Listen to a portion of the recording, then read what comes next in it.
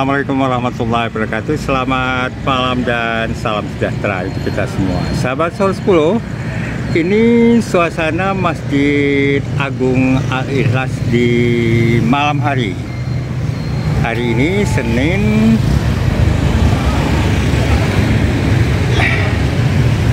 Nah ini trotoar di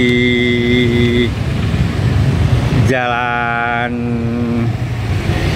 Haji Agus Salim di mana masjid ini berada cukup lebar dan tentu ini sangat memadai. Ini salah satu buah dari dari MTQ ke 30 Kalimantan Barat. Karena dengan MTQ ini uh, masjid yang menjadi ikon Kabupaten Ketapang ini menjadi sangat indah karena telah mengalami renovasi tapi memang uh, renovasi masjid ini sendiri memang sudah cukup lama juga direncanakan oleh pengurus masjid karena memang uh, seperti perubahan warna masjid yang menjadi putih pada uh, dinding luar ini memang sebenarnya sudah cukup lama direncanakan oleh uh, pengurus. Tapi yang jelas situasi Masjid Agung Al sekarang, terutama lingkungan sekitarnya sudah sangat nyaman, terutama ada trotoar sekitar mungkin ada 200 meter barangkali.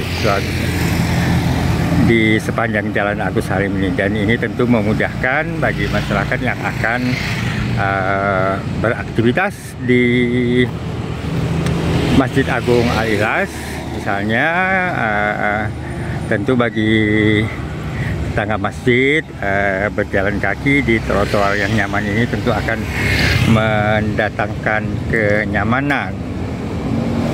Nah kita lihat di Masjid Agung Al sendiri selain memiliki trotoar yang sangat representatif juga telah dipagar dengan dengan motif yang sangat khas seperti ini seluruh uh, lingkungan Masjid Al Ilas dan ini adalah pintu gerbangnya yang sangat futuristik ini.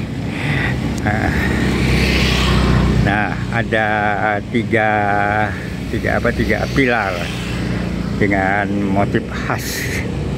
Nah ini uh, Masjid Agung Ailas kondisinya sekarang dan tetap dengan lampu berwarna-warni pada keempat menaranya di malam hari.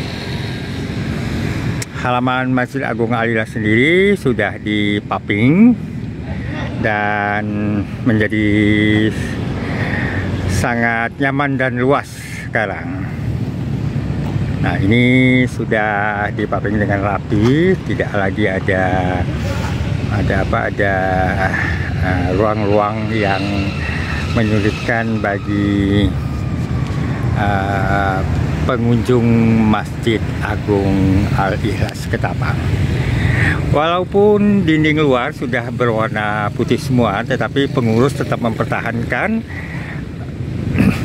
uh, warna-warni yang indah di dalam Masjid Agung Al-Ikhlas. Kalau kita lihat di sini, Nah, uh, warna hijau, warna kemasan yang mendominasi di Masjid Agung Ilas di bagian dalam tetap dipertahankan.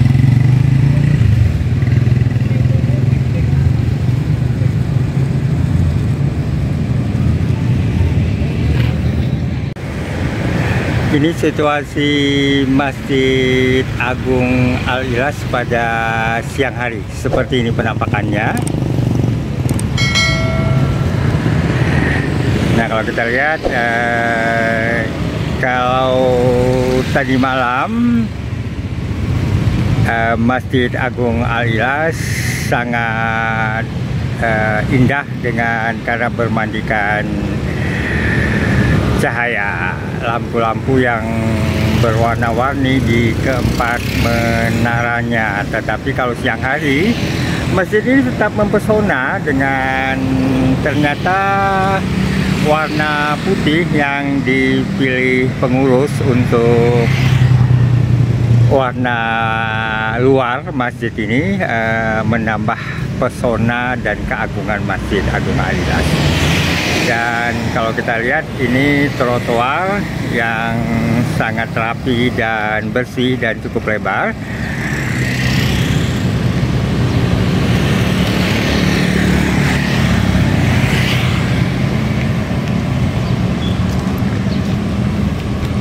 Padahal sebelum adanya trotoar ini di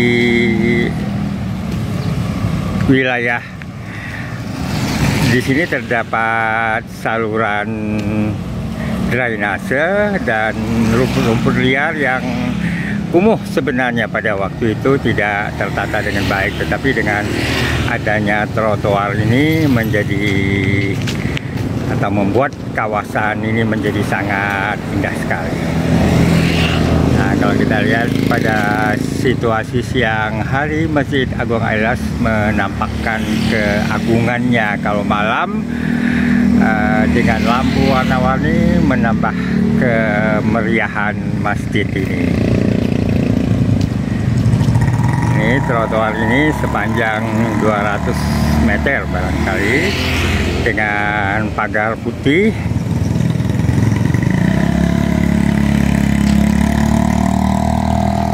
hingga ke ujung sana dengan pepohonan tanjung yang masih tetap dipertahankan dan lampu-lampu hias yang uh, cukup indah membuat trotoar ini menjadi trotoar yang presentatif. Lengkap dengan jalur untuk penyandang disabilitas. Ini pintu gerbangnya juga dibuat dengan gaya yang futuristik ini halaman yang sudah sangat rapi sekali. Semuanya sudah di paving block.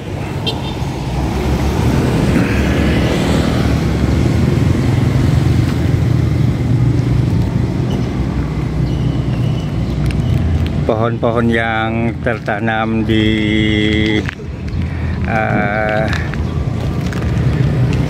halaman ini pun sudah sangat teratur. Ada pucuk merah dan ada anakan ketapang pohon ketapang kencana yang ditanam. Dan apabila besar nanti tentunya ini akan membuat kawasan ini menjadi cukup teduh dan rimbun.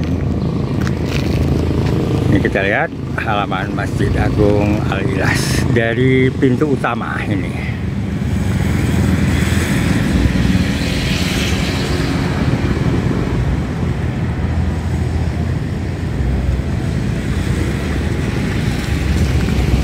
di bawah sana seperti sebelumnya adalah ada aula yang dapat dipergunakan oleh masyarakat dengan cara dengan cara menyewa untuk berbagai upacara seperti perkawinan dan kegiatan-kegiatan lainnya.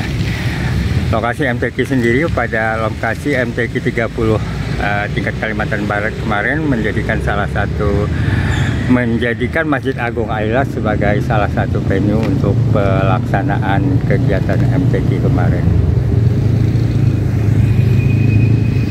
Dari halaman Masjid Agung Alilas Kabupaten Ketapang, Selasa tanggal 6 Desember 2022, Yasmin Umar untuk Sorot 10.